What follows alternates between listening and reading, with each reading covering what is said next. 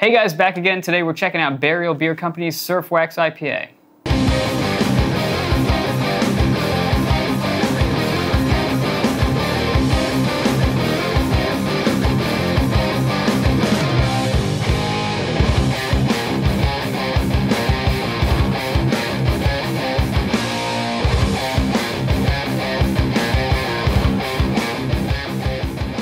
So the Surf Wax, uh, another IPA from Burial. We seem to have bought all of their IPAs for some reason.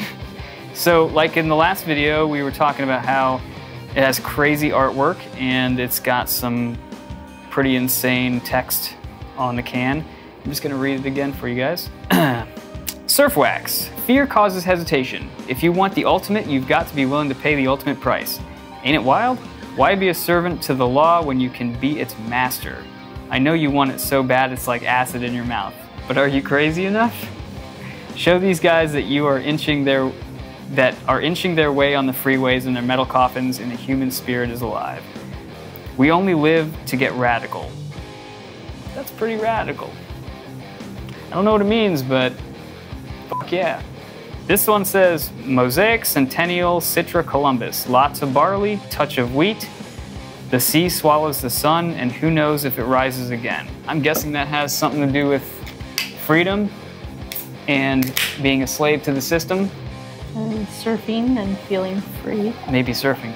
On this side, it's a picture of a grotesque skeleton with some surfboards with like a eel coming out of his mouth, like a like a sea eel or Yeah. something.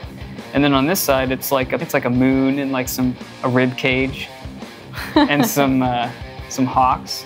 And the night sky. Yeah. It smells like smells hoppier than the last one does. Yeah, and it's oddly this one had citra in it, but I'm not getting a, tr- a lot of tropical notes.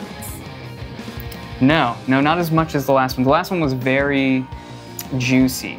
This one seems more uh, hoppy and and piney. Alcohol percentage. This one's 6.8, I believe, or six.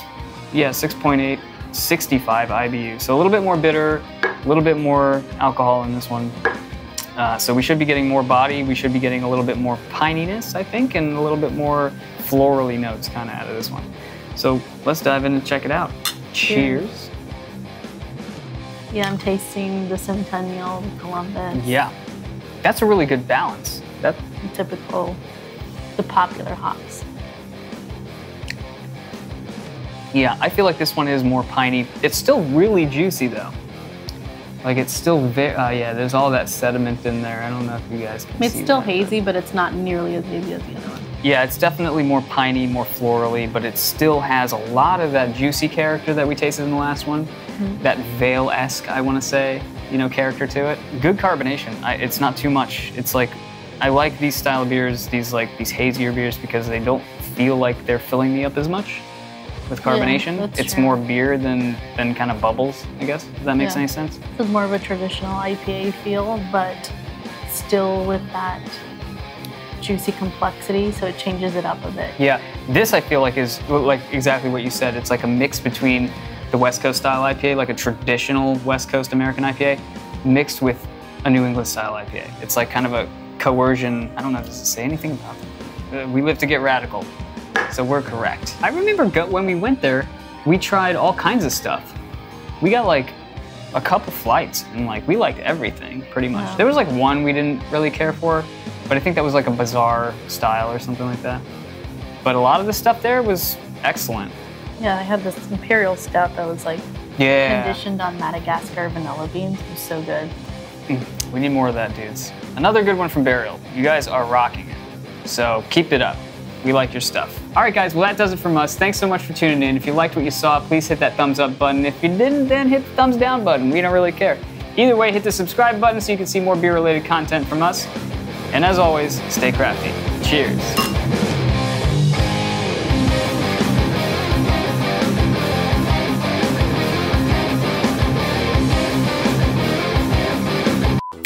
All right, guys, thanks.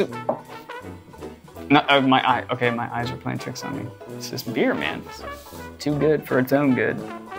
Are you crazy enough? All right, well, that does it from us. Thanks so much for tuning in. You guys know what to do. The thumbs up button really helps the channel out, so be sure to smash that shit. And Thought you were gonna change. I can't. I just, until next time, cheers. Ah, shit. Until next time, stay crafty. Stay crafty is like our thing. Yeah, yeah. That's what we do. Yeah. Nobody can steal that. That's ours. We should trade. True. And we need to get rid of all this beer in the fridge anyway. We have Yeah. like, how many beers do you think we have in, in these fridges combined? Like 75? Oh, I think more than that. I mean, yeah. We have some close to stuff. 100. I mean, you're not including the bottles, the bombers, and the. Oh, yeah, yeah, yeah. That's a lot of beer. We have a lot of beer news. Like, we have a lot of reviews coming. So, even more reason to subscribe. If you liked what you saw, please hit that bell button. Uh, please hit that like. Please hit the thumbs up